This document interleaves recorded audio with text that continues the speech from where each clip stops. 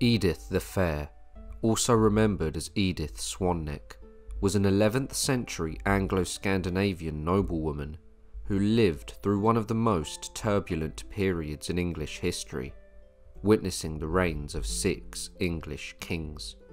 Among those rulers was her lover, King Harold Godwinson, with whom she had six children, though they never formally married.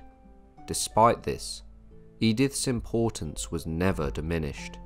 She was one of England's wealthiest nobles and was renowned as the most beautiful woman in the realm, raised by her father Thorkell the Tall, a Viking chief and lord of the legendary Jomsvikings, a group of Viking mercenaries famed throughout Scandinavia.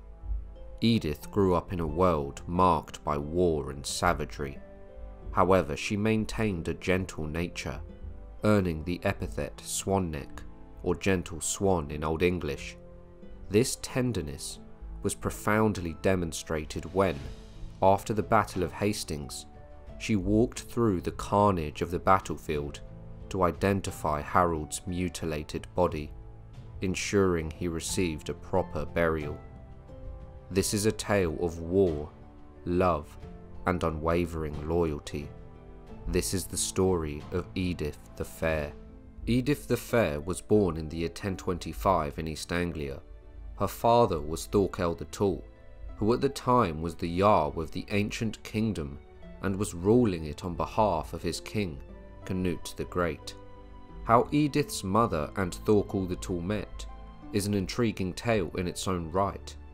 The Anglo-Saxon Chronicle goes into great detail regarding Thorkell's army raiding, burning, and extorting much of England, especially the Jomsviking occupation of the city of Canterbury. Thorkell eventually allied himself with the King of England at the time, named Ethelred the Unready, and married one of his daughters.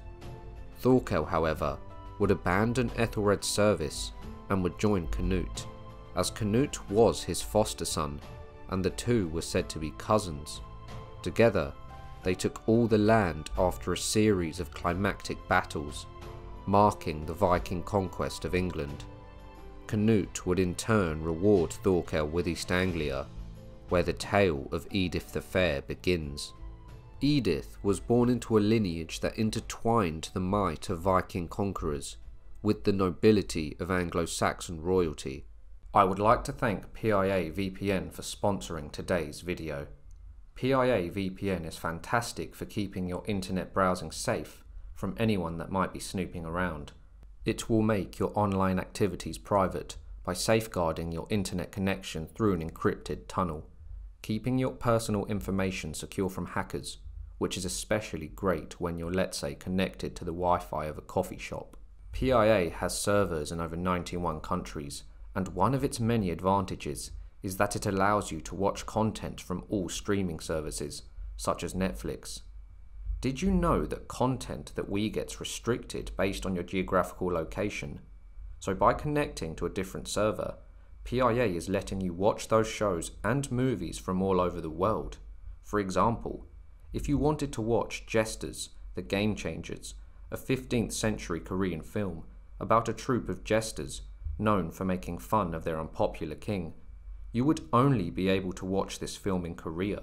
However, with PIA, it becomes accessible anywhere, and that's the same for all films exclusive to one place.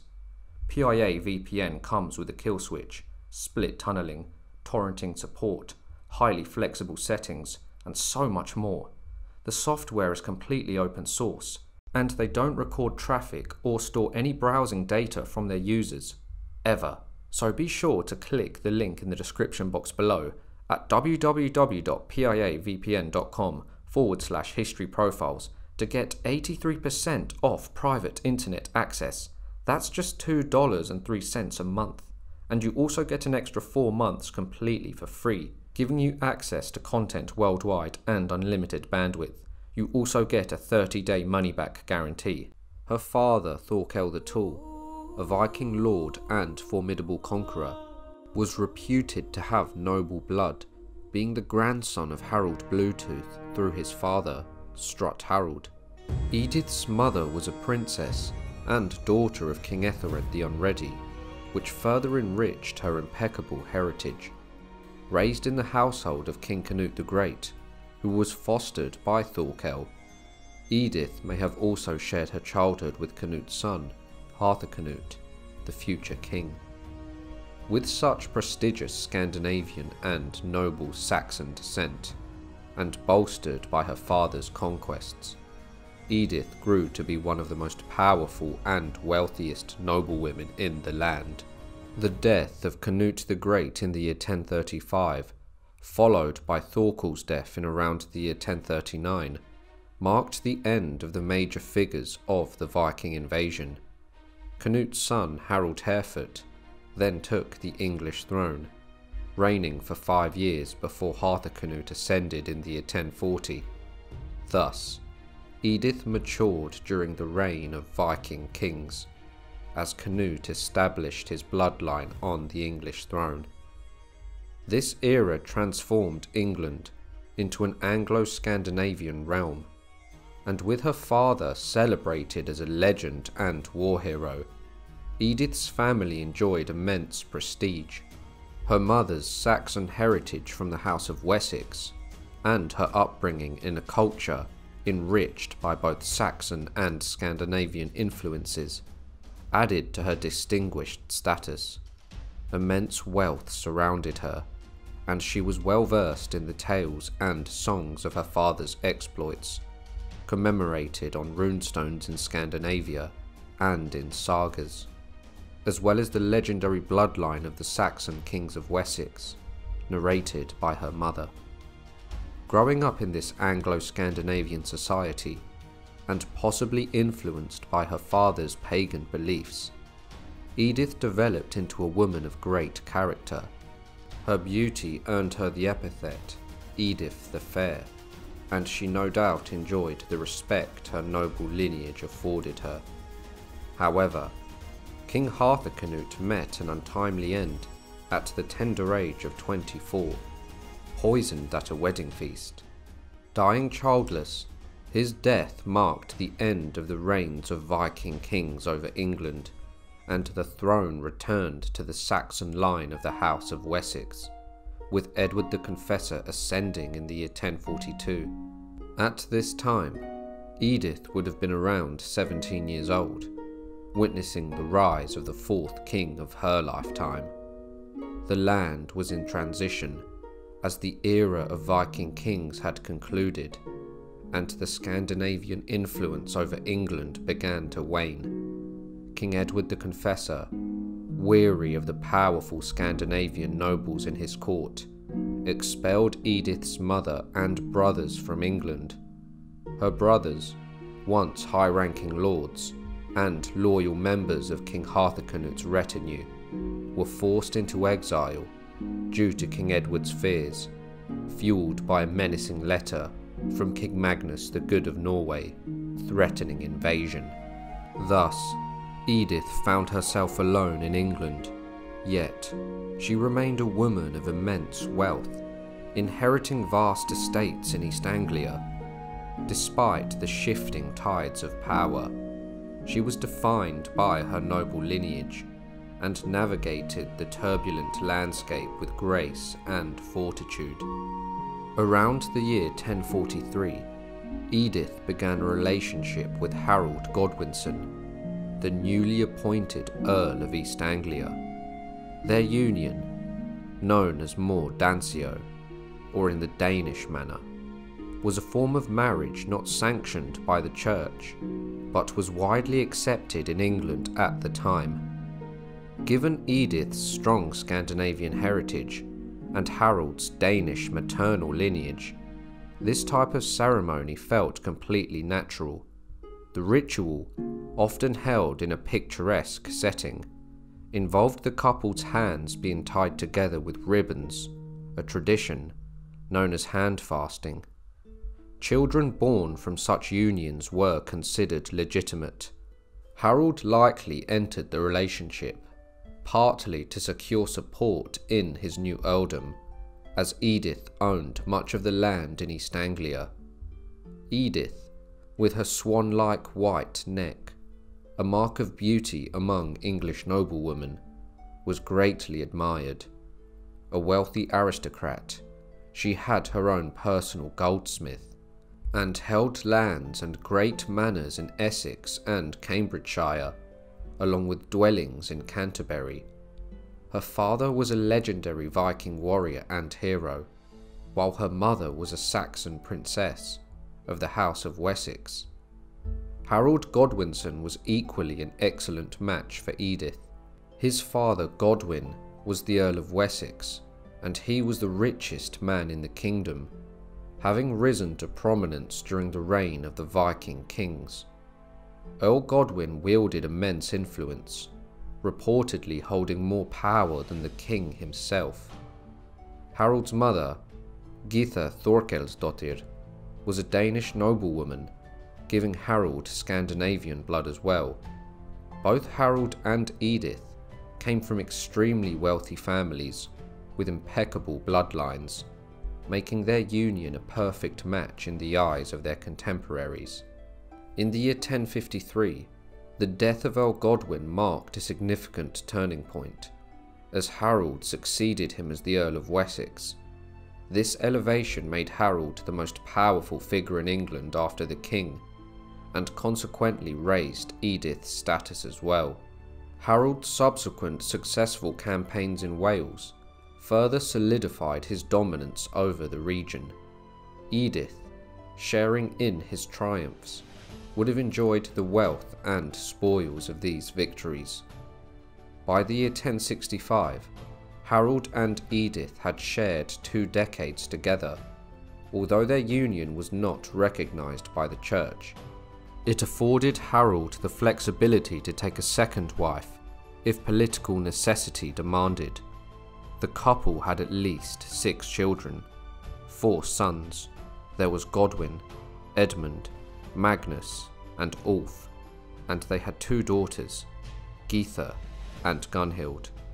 Despite their long relationship and numerous offspring, the declining health of King Edward the Confessor created a political imperative for Harold to formalise a marriage to strengthen his position as England's foremost Earl and potential king. Harold's new bride, named Ealdgyth, was the daughter of Elfgar, the Earl of Mercia, and she was renowned for her beauty. She was the widow of the King of all Wales, with whom she had a daughter.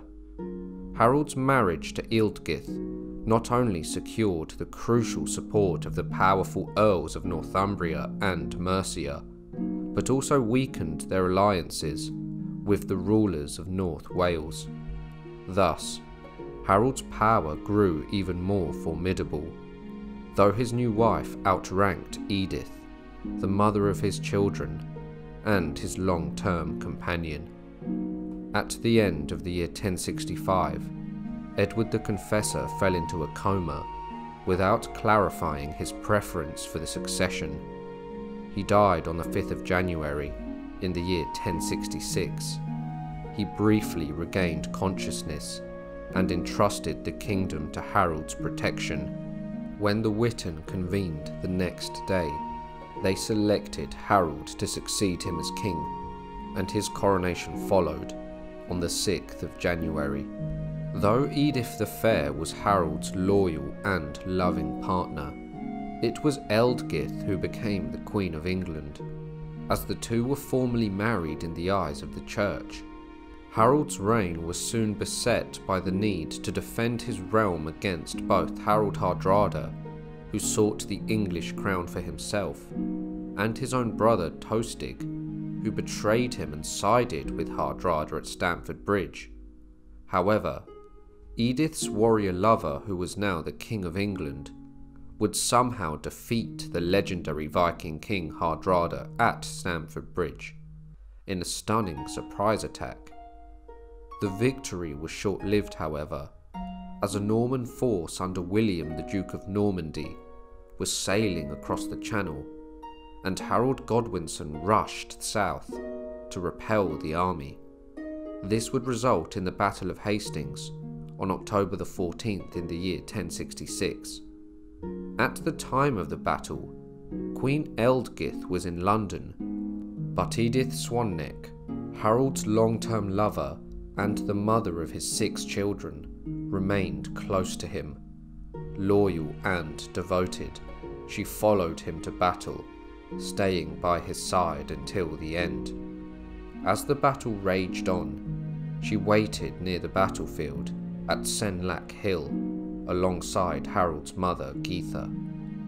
Edith's proximity to the battlefield demonstrated her profound trust in Harold and her unwavering attachment to him, despite the fact that his former wife, Ealdgyth, now ranked higher and held the title of Queen. Edith's commitment to Harold was remarkable. Even though her official status had been eclipsed by Ealdgyth, she remained steadfast. Her presence at the hill signified a deep emotional bond and a courage that defined the era's expectations for women. She was willing to face the dangers and uncertainties of war out of love and loyalty. The Battle of Hastings was a pivotal moment in English history. Despite Harold Godwinson's resounding victory over the legendary Harold Hardrada at Stamford Bridge, fortune did not favour him at Hastings.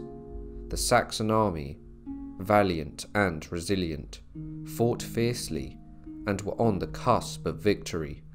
However, William, the Duke of Normandy, managed to turn the tide and secured victory.